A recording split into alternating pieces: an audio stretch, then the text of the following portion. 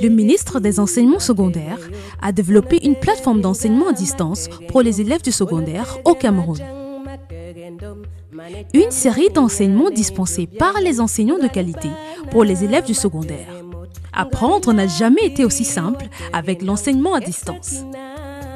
Une initiative du ministère des Enseignements secondaires sous la supervision du professeur Nalova Lyonga en collaboration avec le ministère des Postes et Télécommunications, la CAMTEL, la CRTV et l'UNESCO. Nous introduisons l'enseignement à distance comme une autre méthode d'enseignement et d'apprentissage qui diffère du cadre de classe traditionnel auquel vous êtes habitué. Dans le mode d'enseignement à distance, vous n'êtes pas avec l'enseignant en personne, alors prenez votre temps, détendez-vous, écoutez l'enseignant, prenez des notes et visitez les liens suivants pour toute question ou réponse à vos préoccupations. Allez-y à votre rythme. La solution du Cameroun contre le Covid-19 est au-delà. Professeur Nalova Lyonga, ministre des Enseignements secondaires. Bienvenue dans cette nouvelle séance d'apprentissage. Je suis M. Ndoye enseignant de géographie. Je vais dire votre enseignant de géographie, également votre tuteur dans les cours à distance. Nous allons continuer à dérouler notre programme de géographie comme nous l'avons commencé il y a pas mal de temps.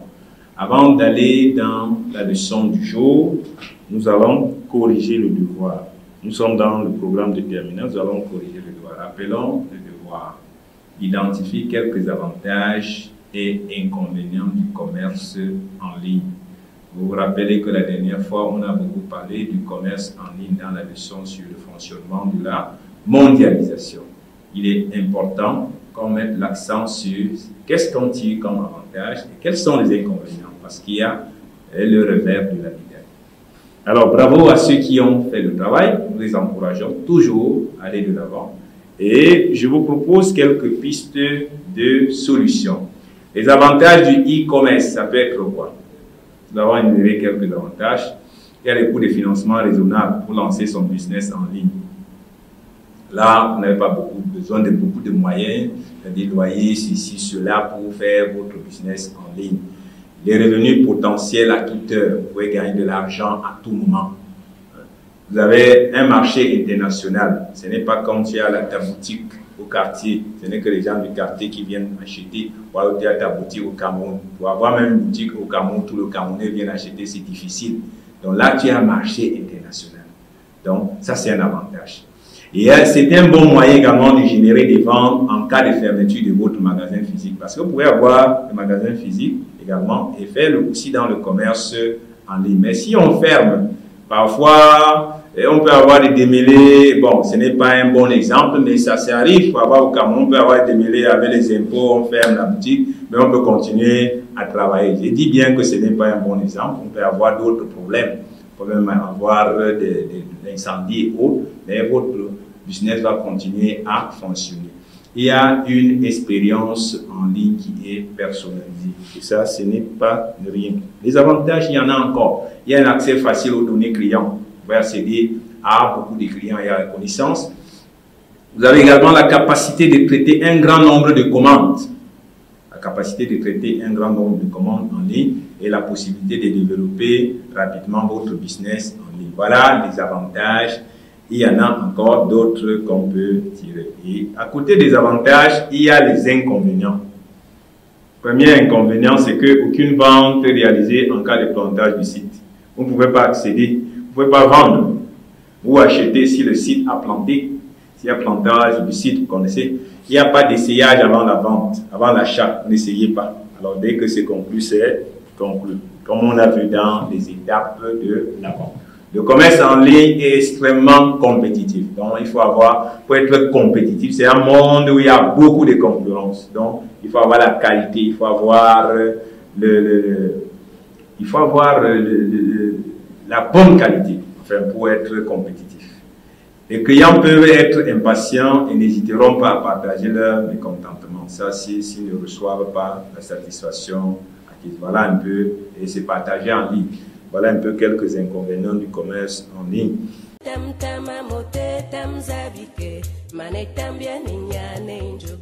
Nous allons aujourd'hui nous intéresser au dossier 3, le commerce équitable. Le commerce équitable. Avant d'aller dans le vif du sujet, voici le plan, les objectifs du cours, les prérequis nécessaires, la situation problème, les activités d'apprentissage, les exercices d'application et le devoir à faire à la maison. D'abord, les objectifs. Première chose, c'est de comprendre le concept de commerce équitable. il faut le définir. Commerce équitable, montrer que le commerce mondial est déséquilibré. Deuxième chose, présenter, troisième si vous voulez, présenter les normes du commerce équitable. Et enfin, relever les critiques du commerce équitable. Les prérequis nécessaires pour ce cours indispensable, c'est les facteurs de la mondialisation que nous avons vus, euh, quelques leçons plus en arrière, et le fonctionnement de la mondialisation, qui était la leçon 12, comment ça fonctionne, les flux, les différents flux de la mondialisation, différents facteurs, il faut les avoir pour pouvoir mieux appréhender la notion du commerce équitable. La situation problème. Ton oncle se plaint du fait qu'il vend son cacao moins cher alors que le prix des intrants est très élevé. Ton oncle se plaint du fait qu'il vend son cacao moins cher alors que le prix des intrants est très élevé. Voilà une situation. Et comme d'habitude, c'est explorer par vous-même autour de ces questions. D'abord, identifie le problème auquel est confronté ton oncle il n'est pas le seul. Tous les autres producteurs peuvent avoir ces problèmes, notamment les, producteurs des pays du tiers monde, du moins ceux qui produisent du cacao. En deux, donne deux manifestations du problème identifié. Comment ça se concrétise, ce problème identifié?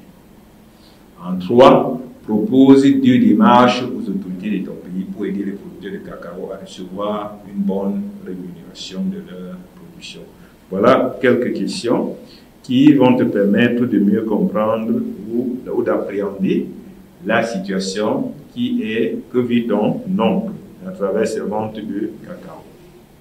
Cela dit, nous passons aux activités d'apprentissage. Et bien évidemment, à partir de l'exploration de la situation problème en fin de leçon, en fin d'activité, tu peux rapidement comprendre l'intérêt du commerce équitable. Pourquoi on parle davantage du commerce équitable? Quoi, ça doit être équitable? D'abord, le concept. Commerce équitable. Qu'est-ce que le commerce équitable? Document 1. Le commerce équitable est un partenariat commercial fondé sur le dialogue, la transparence et le respect, dont l'objectif est de parvenir à une plus grande équité dans le commerce mondial. Il contribue au développement durable en offrant de meilleures conditions commerciales et en garantissant les droits des producteurs et des travailleurs marginalisés.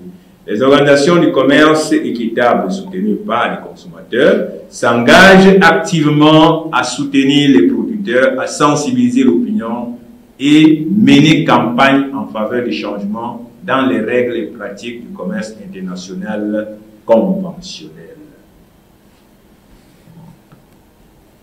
Analysons le document que nous venons de lire. Présentons le document à travers sa nature et son idée générale.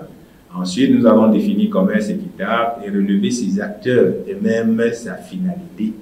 Toujours dans ce document, nous voyons que nous avons affaire à un extrait de test qui porte essentiellement sur la définition du concept de commerce équitable. Quelle est la définition qu'on peut extraire de ce document? C'est que le commerce équitable est un partenariat commercial. Je souligne bien partenariat. Fondé sur le dialogue, voilà les mots forts, la transparence, le respect et dont l'objectif est de parvenir à une grande équité dans le commerce mondial. Vous avez même déjà là la finalité. Les acteurs d'abord. Les acteurs, s'il y a commerce, c'est principalement, comme nous avons vu, dans les échanges antérieurs, il y a les pays développés et les pays en voie de développement. Ce sont les deux grands acteurs. La finalité, c'est quoi? Entre autres, c'est lutter contre les inégalités dans la redistribution des richesses produites. C'est d'aider les petits producteurs à couvrir les coûts de production. C'est également aider les coûts sociaux et environnementaux. C'est également, et ça c'est peut-être l'objectif primordial, ou à terme, c'est de parvenir à une plus grande équité dans le commerce mondial.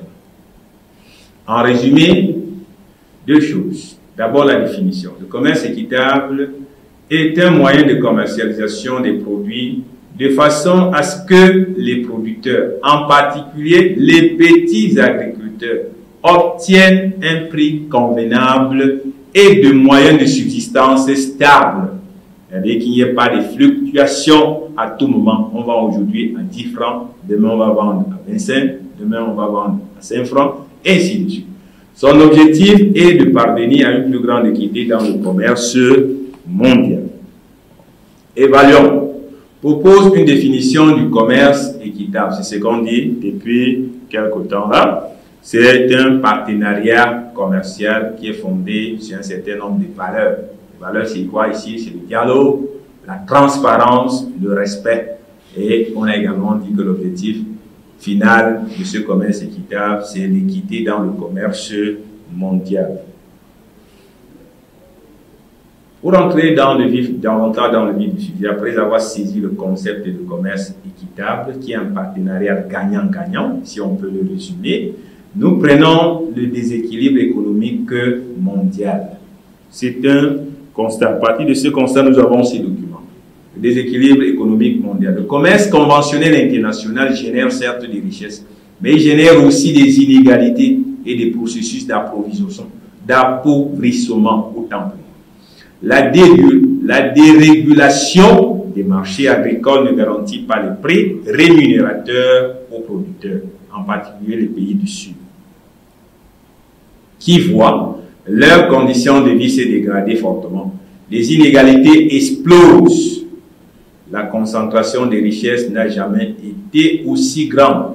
Oxfam, l'ONG Oxfam, estime en 2018 que les 26 milliardaires les plus riches concentrent autant de richesses que 3,8 milliards de personnes les plus. Les producteurs et les productrices vivant dans les pays en développement sont les plus touchés par la faim. La population qui demeure en marge d'éducation est loin d'être négligeable. L'organisation actuelle du commerce se fait à l'insu du producteur et du consommateur. Le producteur ne connaît pas la destination de son produit. Le consommateur en ignore la provenance. Et les intermédiaires les plus puissants imposent leurs règles, leurs prix.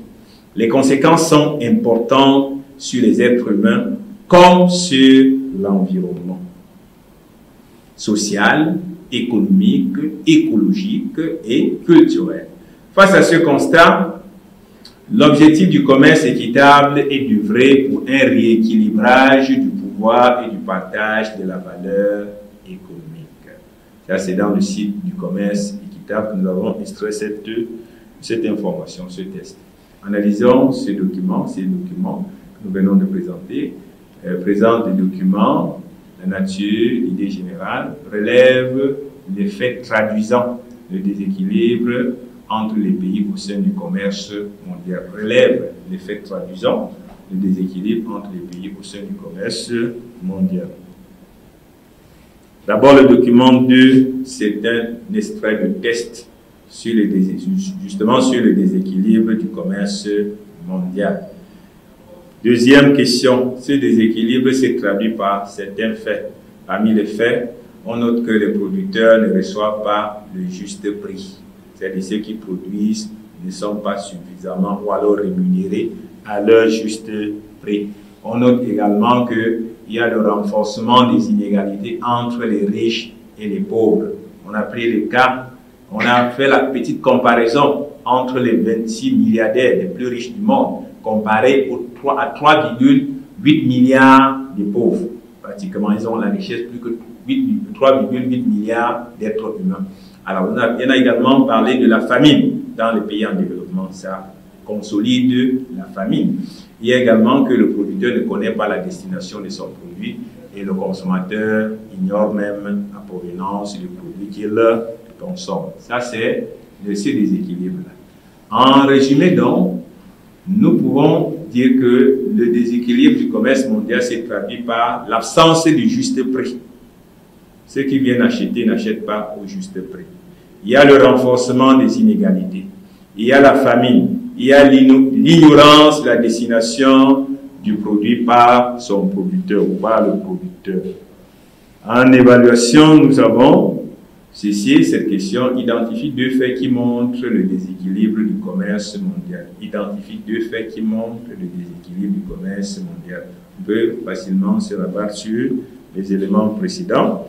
L'absence du juste prix, c'est plus flagrant. Le renforcement des inégalités entre les riches et les pauvres. Donc, nous avons défini commerce équitable comme un partenariat qui est gagnant-gagnant. Mais le constat que nous venons de faire à l'issue de cette partie, c'est que c'est un commerce qui est, il y a un déséquilibre au niveau du commerce mondial et qui se traduit principalement par l'absence du juste prix. Quelles sont donc les normes du commerce équitable? Parce que nous voulons un commerce équitable. Quelles sont les normes? Pour cela, nous avons. Prenons ce document, euh, normes du commerce équitable. Vous voyez, c'est euh, le document 3, normes du commerce équitable, chacun peut apprécier. Vous avez jusqu'à 1, 2, 3, 4, 5, 6, 7, 8, 9, 10 et au moins 10 normes ici qui sont euh, considérées comme les normes du commerce équitable. Vous avez également le document 4 sur les critères du commerce idéal. Vous avez d'un côté euh, l'acheteur et de l'autre le producteur, avec ce que chacun doit faire pour que le commerce soit équitable. Nous allons y revenir. Vous avez également ce document 5. Il s'agit d'un logo du commerce équitable. Chacun peut apprécier, vous pouvez observer attentivement ce logo avec tout ce qui est écrit là-dedans. Et nous allons analyser à travers ces questions. Il y a quatre questions. D'abord, la nature, l'idée générale du document. Ensuite, la définition du mot norme. C'est quoi une norme? Et ensuite, on va relever les normes du commerce équitable. À partir du document 4, on va présenter les critères du commerce idéal. À partir du document 5, on va identifier certaines valeurs universelles que prône le commerce équitable. D'abord, les documents. Le document 3, c'est un tableau sur les normes du commerce équitable, c'est-à-dire celui-ci, les normes du commerce équitable. le document 4, lui, c'est une caricature, on peut l'appeler une caricature, sur les critères du commerce idéal. C'est celui-ci, avec euh, l'acheteur et le producteur. Et le document 5, c'est un logo, logo du commerce équitable. Et ce logo-là présente certaines valeurs du commerce équitable. Juste un coup d'œil. Vous pouvez vous rendre compte. D'abord, deux. C'est quoi une norme? Une norme, norme égale à critère ou principe auquel on se réfère et qui bénéficie d'une large reconnaissance dans le monde professionnel. Je reprends, c'est un critère ou alors un principe auquel on se réfère et qui bénéficie d'une large reconnaissance dans le monde professionnel. Elle permet ou elle concourt à l'harmonisation et au contrôle de la qualité des produits et des services. On a vu par le passé la norme au Cameroun avec le contrôle de la qualité en, action avec le ministère du Commerce. Il s'agit du même rôle ici. Les normes du commerce équitable, il y en a au moins 10, telles que nous avons vu dans les documents. Si nous rentrons dans ce document-là, c'est ce qui est présenté là. 1. Vous avez un 1 là. Voilà. Opportunité pour les producteurs désavantagés. C'est-à-dire, c'est la clé, c'est symbolisé par la clé, c'est-à-dire que c'est une opportunité. Quand vous avez la clé, ça veut dire que c'est une ouverture, vous pouvez facilement y accéder. C'est une chance pour les producteurs défavorisés. C'est également la transparence et la responsabilité. Ça doit être clair et on doit être responsable. Et c'est également les pratiques commerciales équitables. Pratiques commerciales équitables avec cette figure qui est là. Vous voyez un peu le 4, intéressons-nous au 4. Je vois bien ce schéma-là. Ce schéma-là, je vois les produits sur un côté de la balance et de l'argent de l'autre, le dollar. Donc ça doit être équilibré. Ça, c'est le juste, le juste prix. Le juste prix. Également, le 5. Si vous prenez bien le 5, pas de travail forcé ni de travail d'enfant. Le schéma est là. Ça aussi, pas de discrimination, égalité déjà, liberté d'association. Vous voyez comment les gens sont main dans la main. C'est ça le commerce équitable. Les bonnes conditions du travail. Tout le monde est à l'aise, tout le monde aime travailler. Vous voyez un petit cœur là qui est là. Développement des compétences, c'est bien là. La promotion du commerce équitable, le respect de l'environnement. Moi, je voulais qu'on s'arrête sur le 10. Le respect de l'environnement. Parce qu'on a également parlé du commerce durable. C'est un commerce qui respecte également l'environnement. Passons aux critères du commerce équitable. Pour l'acheteur, quels sont les critères du commerce idéal? Un commerce idéal. Le document est là, il est parlant. On a un acheteur, on a le producteur. On dit par exemple que l'acheteur doit garantir le prix minimal au producteur. Il doit l'aider à financer certains projets. Il doit même payer à la commande. Il doit passer la commande. Ce n'est pas. Il doit proposer des délais raisonnables hmm, de production. Et le producteur lui-même, parce que parfois il emploie des gens, il doit verser aux ouvriers un salaire décent. Un salaire, lui-même, il ne doit pas commencer à jongler ses producteurs pour espérer que celui qui vient acheter, lui achète, lui donne le juste prix. Il donne d'abord le juste prix, la juste paye à ces gens. Il doit respecter les normes d'hygiène et de sécurité internationale. Ça, c'est important. Il doit s'efforcer, le dernier point, s'efforcer à de protéger au maximum l'environnement. Nous terminons par le document sain avec les valeurs. Les valeurs, si vous prenez le document, rien que le document, en lisant le document, il y a beaucoup de valeurs. L'éthique, le respect, la responsabilité, l'équité, la dignité, la justice. Voilà autant de valeurs que valeurs, valeurs universelles que partage le commerce mondial. La dignité, la solidarité, l'engagement, l'éco-citoyen, l'agriculture biologique. Nous avons parlé de ça classe de première et même en terminale, l'agriculture biologique, c'est-à-dire qui respecte les conditions de l'environnement. Les conditions de travail également font partie de ces valeurs. Alors, nous résumons en disant que la norme est un critère ou un principe auquel on se réfère et qui bénéficie d'une large reconnaissance dans le monde professionnel. Et que les normes du commerce équitable sont entre autres le juste prix, le respect de l'environnement, les bonnes conditions de travail, pas de forcing dans le travail, que ce soit pour, notamment pour les enfants, les opportunités pour ceux qui sont désavantagés, surtout la transparence et la responsabilité. En évaluant, en évaluation, nous avons identifié trois normes du commerce équitable. Nous avons donné une dizaine. Ça veut dire que le choix est facile. Le juste prix, le respect de l'environnement, les bonnes conditions du travail, etc., etc. Des opportunités, l'opportunité pour les, les producteurs désavantagés. On a dit trois, on s'en tient à ces trois. Cela nous permet de passer aux critères, aux critiques du commerce équitable. Donc, en récapitulant, on a vu que c'était un partenariat gagnant-gagnant, mais que, en fait, le commerce international est truqué déjà par ces déséquilibres. Et pour rétablir, alors pour remettre les pendules en l'air, on a déroulé un certain type de normes qui se veut équitable. C'est-à-dire, c'est ce qui doit se faire pour que le commerce mondial soit équitable. Néanmoins, si le commerce mondial doit être équitable, il y a quand même quelques critiques qui sont formulées à l'endroit de ce commerce qui se veut équitable. Voici le document, par exemple, les critiques.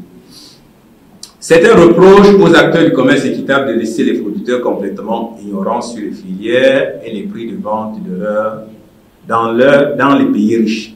Autre inconvénient majeur, souvent avancé par les détracteurs du système, la dépendance des petits producteurs qui avaient l'assurance de vendre leurs produits équitables ne sont plus intéressés à s'intégrer au circuit de vente locaux. En outre, les échanges entre Nord, Sud, Nord-Nord et Sud-Sud ont été oubliés puisque le commerce équitable n'est valable qu'entre pays du Nord et pays du Sud. Il n'est jamais facile de définir quel est le juste prix à imposer. D'autre part, si le prix est trop élevé, les acheteurs ne seront pas intéressés. De l'autre, s'il est trop bas, les producteurs n'auront pas bénéfices.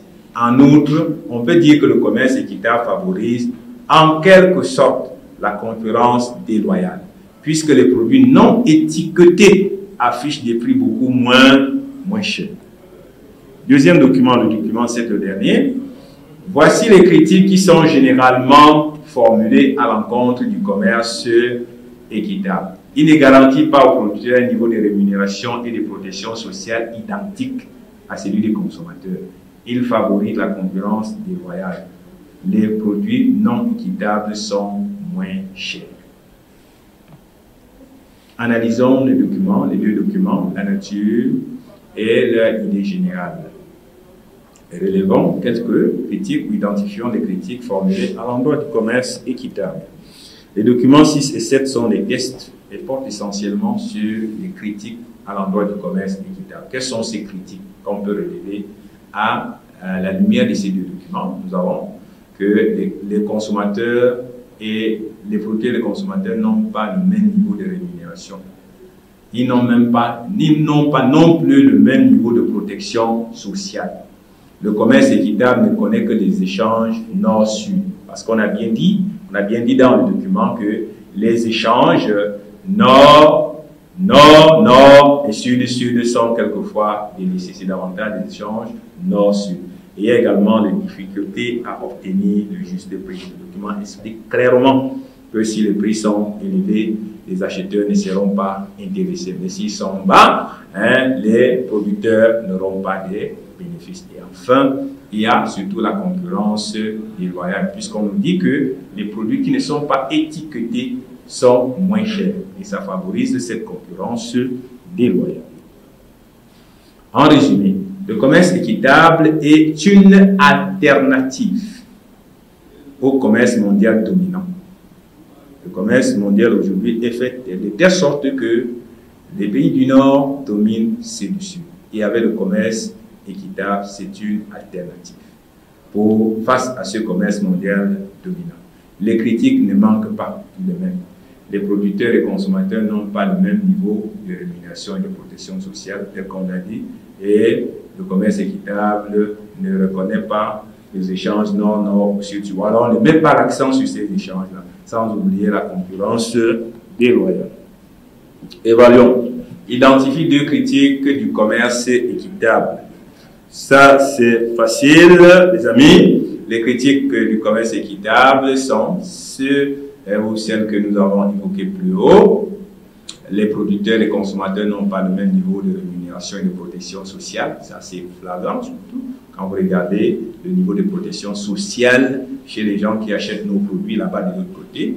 C'est c'est difficile à accepter. Le commerce équitable ne connaît pas les échanges, ne, connaît que, ne reconnaît que les échanges nord-sud.